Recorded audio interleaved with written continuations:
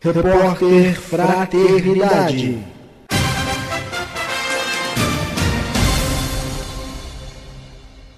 Geraldo Campete Sobrinho é vice-presidente da FEB, a Federação Espírita Brasileira.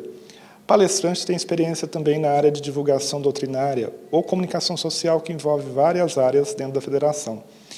Campete, vamos começar pela área de livros, que você tem uma experiência na publicação, na catalogação. Como que estão os livros espíritas na era da internet?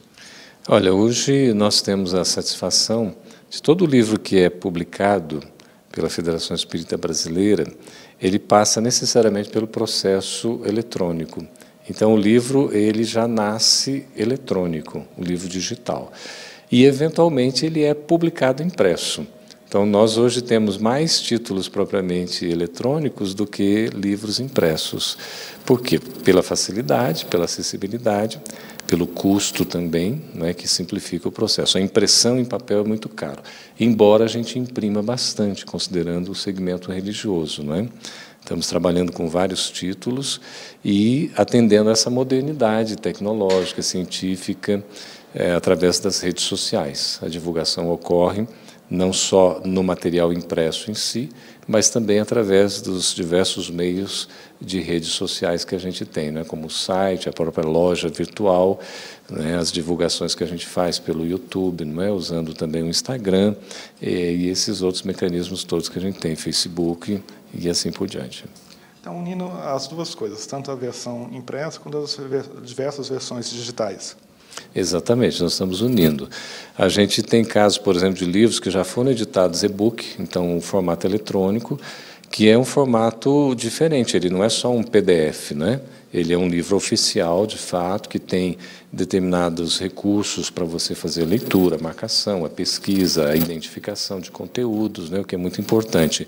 E a vantagem é que você pode ter uma biblioteca digital no seu Kindle, por exemplo, ou no outros né, instrumentos, é fácil de você é, manipular. O livro físico você tem aquele prazer de tocar, né, de fazer leitura, de marcar, enfim, é, mas dá um volume, não é? É, eu faço a transição entre as duas coisas, porque estando editora a gente precisa ter uma coisa e outra, não é? Mas hoje ocorre isso, a FEB, no caso, né, da sua editora publica os livros tanto impresso em papel como eletrônico. Nós estamos nesse trabalho conjunto. Outra questão é a documentação, o resgate da memória do movimento espírita. Como é que está esse trabalho? É um trabalho sempre permanente, né? Ranganathan, que é um bibliotecário indiano, lá do século, início do século XX, ele que criou as leis da biblioteconomia. Ele dizia assim: a biblioteca é um organismo em constante crescimento.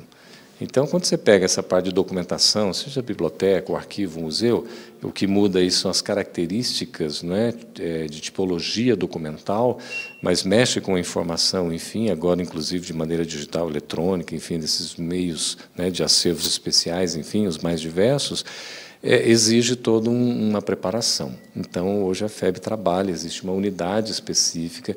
Nós temos a Biblioteca de Obras Raras, com mais de 20 mil itens. Temos a biblioteca também, que é disponibilizada eletronicamente. Temos o reformador todo disponível eletrônico, além das coleções físicas. Hoje, qualquer pessoa de qualquer parte do mundo pode acessar qualquer artigo de reformador. Do ano anterior né, ao ano corrente, é, é para trás, porque a gente mantém o ano corrente para quem faz assinatura. Também tem assinatura digital. E tem uma parte muito interessante que são das exposições. As exposições temáticas que são feitas sobre né, determinados assuntos, personalidades, né, exatamente com essa responsabilidade da área de memória e documentação. Então, teve exposição sobre Divaldo, que está em cartaz na FEB, tem exposição sobre, inclusive, a questão do filme, né, do Divaldo, a exposição sobre Dona Ivone do Amaral Pereira, aquele, a exposição sobre os é, construtores, agentes, né, pacificadores, exatamente, pegando várias personalidades ao longo da história. E uma coisa curiosa, essas exposições elas são itinerantes, porque você prepara eletronicamente cede esse material, por exemplo, né, para federativas ou para instituições e são expostos em shoppings, é, em locais, inclusive, de instituições públicas em vários estados do Brasil. É uma coisa muito bonita. E há o patrimônio do livro, que cuida da história do livro, por exemplo, que é editado pela FEB, não é? É uma coisa muito bonita, assim, tem muita coisa por fazer ainda também, mas nós estamos ampliando. Hoje, localizar a informação é um pouco mais fácil. Né? A organização está se efetivando cada vez mais. E é uma área é, da qual a gente não pode descurar nunca, a gente não pode esquecer. A memória é fundamental, não só para resgatar o que já aconteceu, mas para a gente preparar desde agora como é que a gente vai, inclusive, poder preparar o futuro que ainda virá. Mudando de assunto, você começou a atuar no movimento espírita bastante jovem. Como é que você avalia hoje a juventude espírita no, do Brasil na atualidade? Pois é, eu vejo, na verdade, o jovem não como o futuro, mas como o presente. Então, em termos do trabalho no movimento espírita, o jovem deve estar engajado.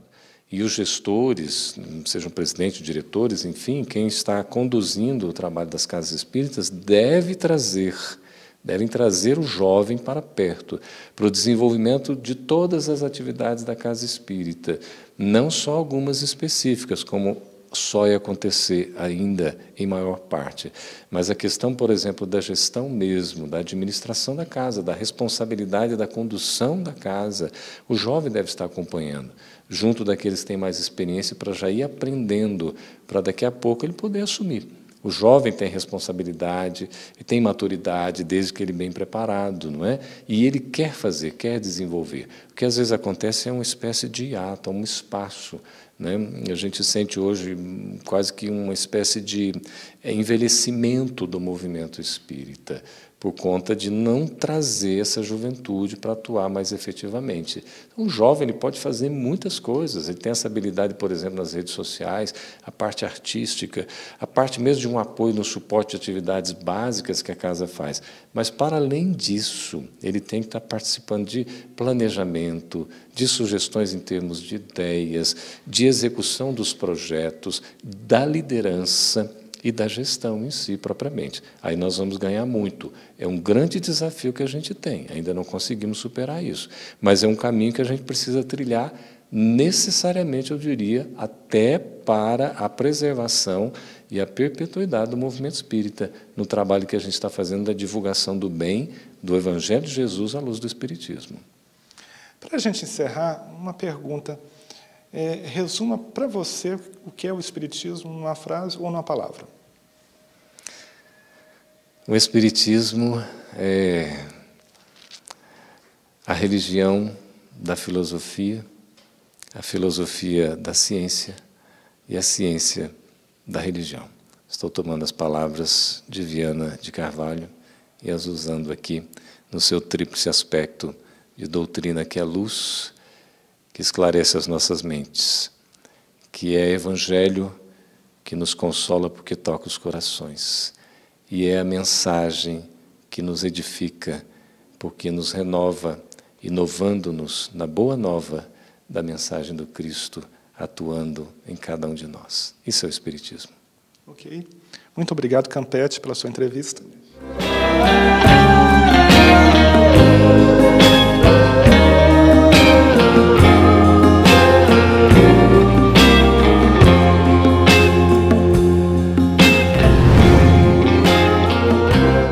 Sexto Congresso Espírita de Uberlândia. O Consolador Prometido por Jesus. Dias 22, 23 e 24 de janeiro de 2021. Um novo local para maior conexão com Deus. Espaço de evento Palácio de Cristal em meio à natureza, o retrato de uma colônia espiritual aqui na Terra, como nosso lar, morada nova e outras colônias espirituais, para aproveitarmos os três dias de aprendizado e convivência com Jesus. Um evento para a família, com espaço para jovens e crianças. Nunca temais. Eu seguirei convosco e vos aguardarei por todo o sempre. Sexto Congresso Espírita de Uberlândia, o Consolador prometido por Jesus. Aguardamos você. Realização Web Rádio Fraternidade.